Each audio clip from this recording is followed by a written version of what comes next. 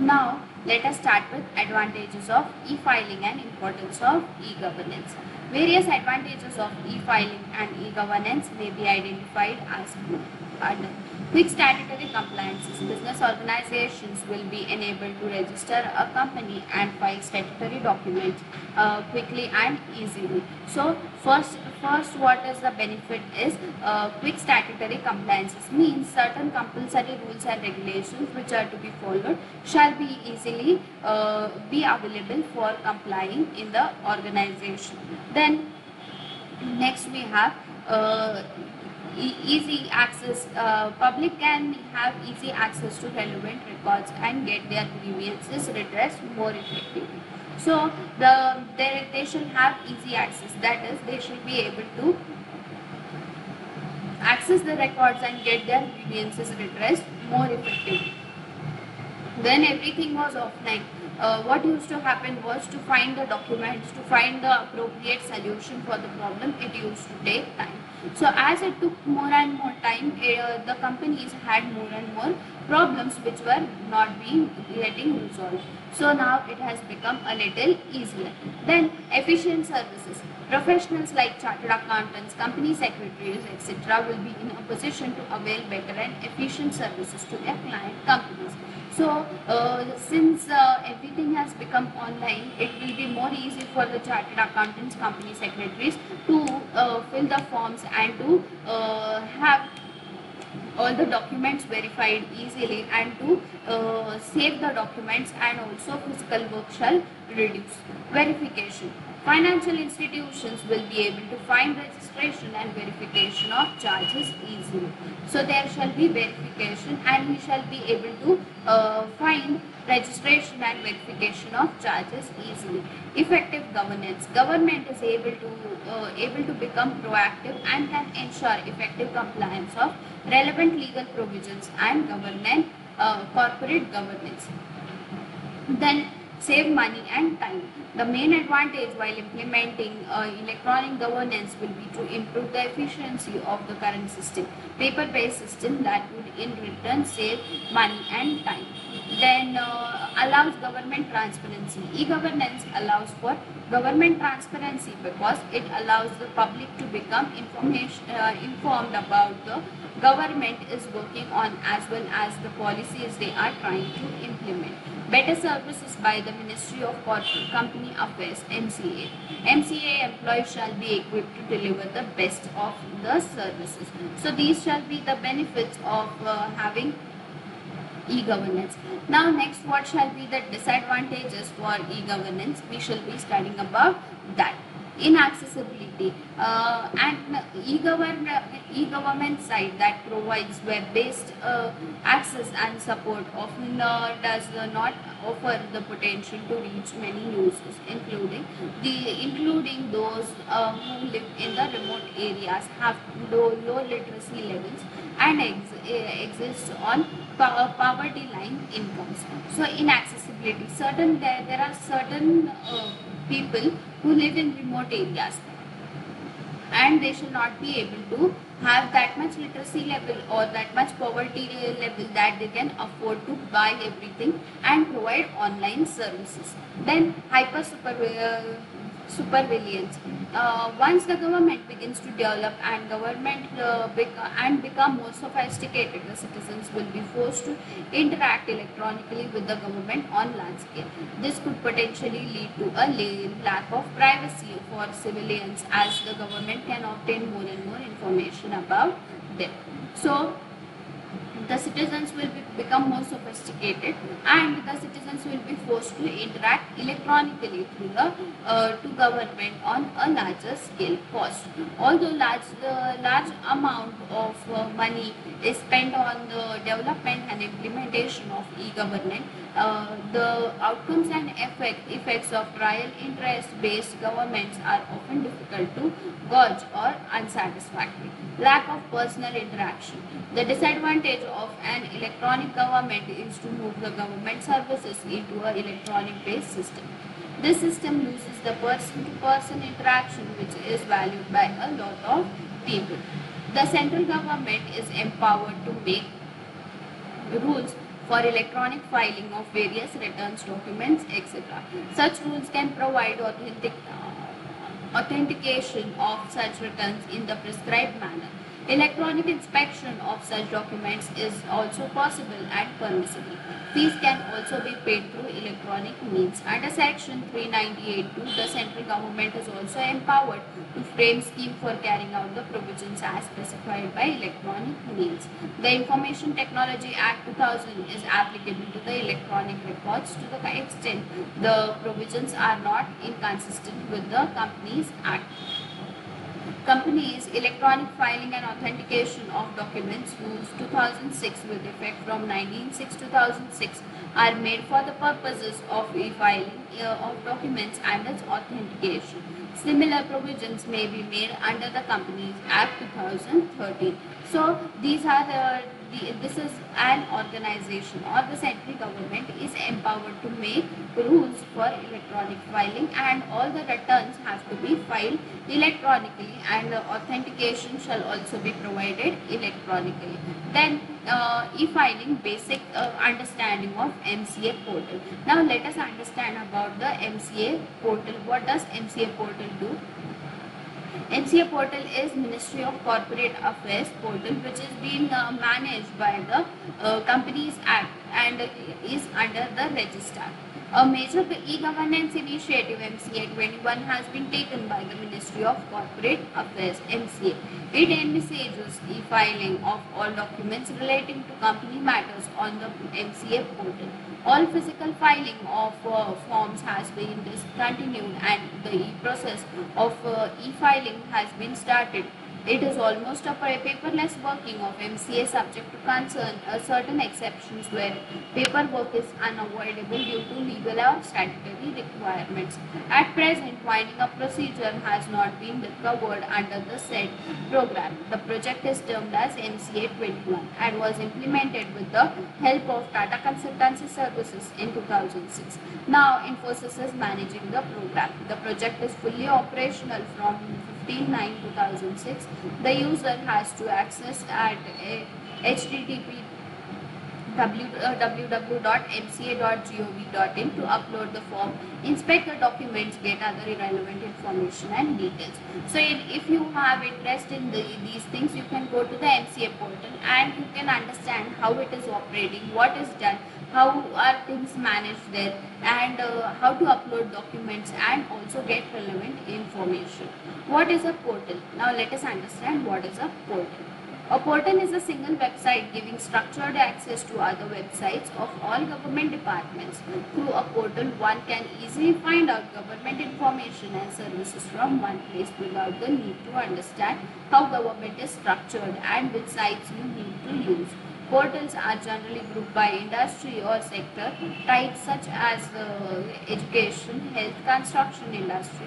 Sometimes they are organized on the basis of services, for example, licensing, registration or purchasing.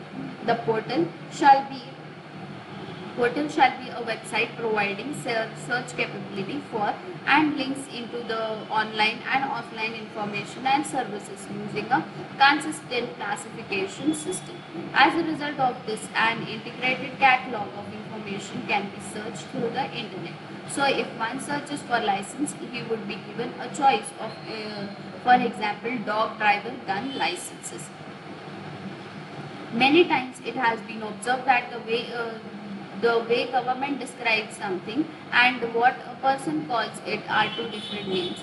The government has to make sure that if one thing, if one is looking for a particular government service or a piece of public information, one should find it.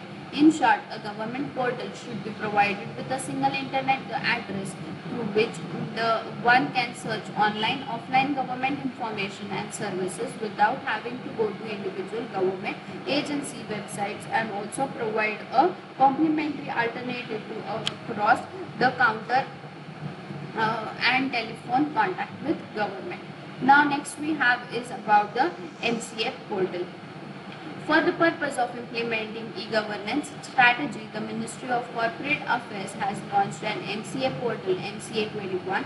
MCA 21 project is designed to fully automate all processes related to the proactive enforcement and compliance of the company uh, of the legal requirements under Companies Act with this initiative, e-filing of all documents relating to company matters is now is possible. Now MCA is taking steps to from traditional paper-based operations to paperless transactions. As a result, various conventional forms prescribed for certain transactions have been adopted for use through the electronic medium. These forms have been simplified and standardized for electronic filing. MCA 21 and its objective. MCA 21 is an e-governance initiative of Ministry of Corporate Affairs, Ministry of Government of India that enables an easy and secure access of the MCA services to uh, the corporate entities, professionals and citizens of India. The MCA21 application is designed to autom fully automate enforcement and compliance of the legal requirement, uh, legal requirements. Companies Act 2013 and liability limited liability partnership community to meet their statutory obligation and all process related under the uh, under the Companies Act. The MCA 21 application is available through the single point of contact for all MCA related services which can be easily accessed over the internet by corporate entities and professionals and citizens of India. The MCA 21 application offers the following.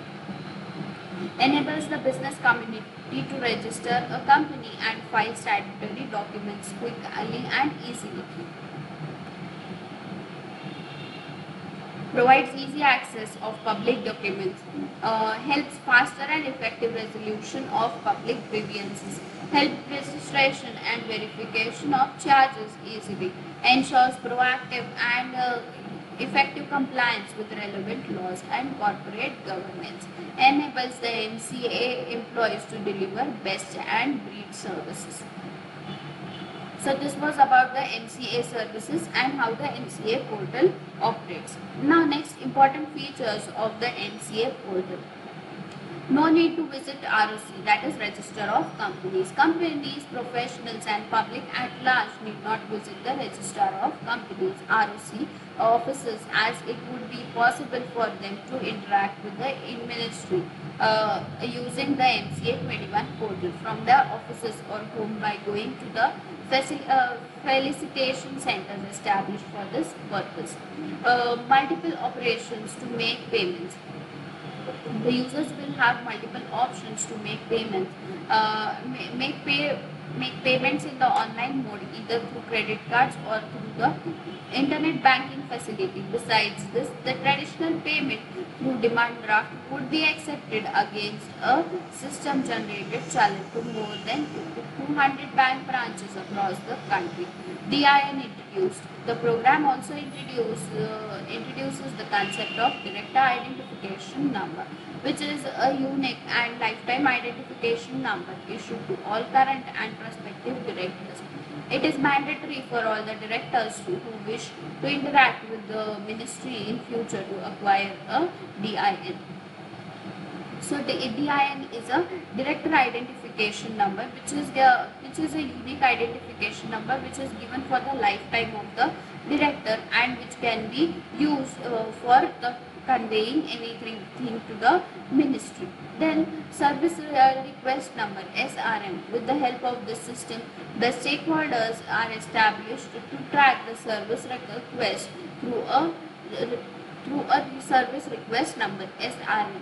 Manual filing of documents discontinued. MCA has uh, has bid uh, notification on number GSR 56 E dated 10 February 2000 6. Issued the company's central government's uh, general rules and forms, amendment rules 2006 and notified due forms. The statutory filing of forms and returns in the offices of ROCs is now on uh, the basic of new form e-forms. Only for, from 15-9-2006, all manual filing of documents has been discontinued. So they have discontinued all the e-filings and everything and uh, everything has to be directly uploaded to the portal where they, they have given space to be uploaded. At present, permanent documents of existing companies such as Memorandum of Association, current charge documents, etc. are maintained in the paper form by various registrar of company offices. Most of these documents have been converted into the electronic format. It is to be noted that the scope of e-filing covers only the offices of ROCs, regional directors and uh, regional directors and the headquarters at New Delhi and it uh, does not include official liquidators, company law board tribunal and uh, courts up, up till now. The MCA 21 covers services provided by the Secretariat at New Delhi. Uh, the four regional directors, RD, and uh, and the 20 officers of the registrar of companies uh, situated throughout the country. Now next is e-filing. So we came to know that the head office is uh, situated at New Delhi and it does not include official liquidators but it includes company law board tribunals. So now let us understand what is e-filing and how it is carried on. The e-filing facility includes incorporation and registration of uh, new companies, filing of annual returns and balance sheets, registration and verification of charges, filing of forms for change of names, address, uh, director details, inspection of documents, application of various statutory services from MCA, investor grievances, redressal. So these are the e-filing facility which includes firstly uh, it has incorporation and registration of new companies. Then next it has it has filing of annual returns and balance sheet. Then registration and verification of charges. Then uh, filing of forms for change of names, addresses, director details. Then inspection of uh, documents, application for various statutory services from MCA. In e-filing system, the ROC will have the function as uh, the back office of the ministry. Facilitation centers, that is physical front offices, have been established to provide necessary assistance to, the, to these companies who find it difficult to adopt e-filing in their initial stages. The digital signatures of various uh, office bearers of the companies are necessary for submission of e-forms even though the digital signatures of the third parties are also necessary in certain cases. Classification of e-forms. So as the standardized and uh, for the better understanding e-forms have been classified into the following categories. First is registration, new companies, then compliance related filing. It includes balance sheet and profit and loss, annual return, return of deposits, statutory reports, cost audit reports, etc. Then change services, it covers matters relating to change in the capital structure, change in the registered office, etc. Then charge creation, registration of charge created, modified is required to be filed with ROC. Investor complaints. As a part of investor services, complaints can be filed by investors through the e-filing system. Making applications for approval of ROCs. ROC is empowered to give direction in respect of the matters relating to the change of the name of an existing company and the conversion of a public company to a private company. Approval of ROC is also necessary for extension of time period for holding an AGM and holding an AGM at a place other than the registered address. Amalgamation of companies, extension of the period of annual accounts, declaring a company as uh, defunct, uh, etc. A few new e-forms have been also prescribed by the MCA. Information services. A few forms are required to be filed for information purposes as per the Companies Act such as Form 23 for filing resolution, uh, an agreement Form 35A to transfer shares of a company to another company, etc. Search facility. The system of e-filing provides the search facility for viewing public documents, getting certified copies, finding corporate identity numbers, CIN, checking names of the companies, finding name availability, etc. So these are the uh, this was about uh, this was about the classification of e-forms. When we go to the portal, we, we can find these types of forms available for the pay, uh, for the companies and uh, for the secretaries to fill these forms as per their requirement. Then the e-filing process. The purpose of e-filing on MCA, uh, MCA 1 has to download the e-form and fill it in an offline mode. Every form has the facility to pre-fill the data available in MCA 21 system. Once the e-form is filled, one has to validate the e-form using pre-scrutiny button. Then affix the relevant digital signatures and save the form. Thereafter, you have to connect uh, to the internet to carry out the pre-fill and pre-scrutiny functions. The step-by-step -step process is given below.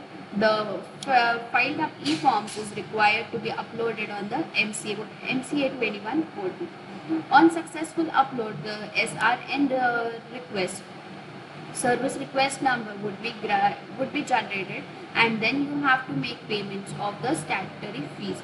Once the payment has been made, the status of your payment and filing status can be tracked on the MCA 21 portal by using the track your payment, payment status and track your transaction status link respectively.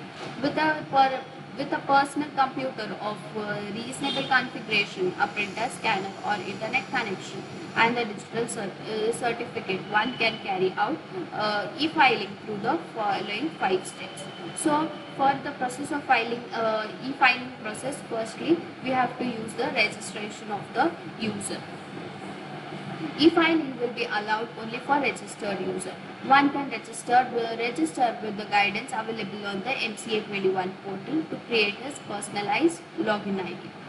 If the user wants to sign an e-form as an uh, authorized signatory, he, then he has to register his digital signature certificate. If the user procures a new DSC, he has uh, to register his new DSC again. So, Firstly, he has to create his own personalized login ID. After that, he has to create a digital signature and uh, if he uh, if if the user is a new one, he has to create a new DSC again. Then second step is downloading of e-form. E-forms are in the PDF format. They are freely downloadable with Adobe, with Adobe Reader V7.0.05 through link uh, available on MCA21 portal. Downloading can be done. Once one has to familiarize himself with the new set of e-forms available on MCA 21. At any time, one can read the related instruction kit to get himself familiar with the procedure. In case of difficulty, view help menu. Then, after this, uh, the third step is uh, completing an e-form. One can avail the option of the uh, option to fill in an e-form offline as per user's convenience. One can complete these formalities without staying uh, connected to the internet. E-forms are to be filled in and uh, digitally signed. By selecting pre-fill option, one can avail the system of filing certain information on e-form automatically which is already available in the database of MCA. One can do automated pre-scrutiny to ensure that the e-form is completed all respect. Supporting documents can be attached provided they are in PDF format in the MCA21 portal. There is provision for conversion of popular formats uh, such as Microsoft Office into PDF format. It is advisable to keep the size of attachment as minimum as possible it is necessary to sign the e-form by more than one person. Then such an e-form should be sent either on suitable media or uh, as an email attachment or the file should be tra transferred over the network to another person who has to sign it digitally. While obtaining such multiple signatures, care has to be taken that contents of e-form are not altered after it has been signed.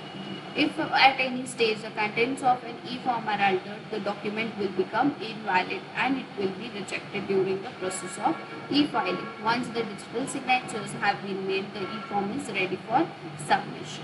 Then uh, once uh, we have filled the form, we can download it offline and fill the form and uh, completing the e-form becomes important.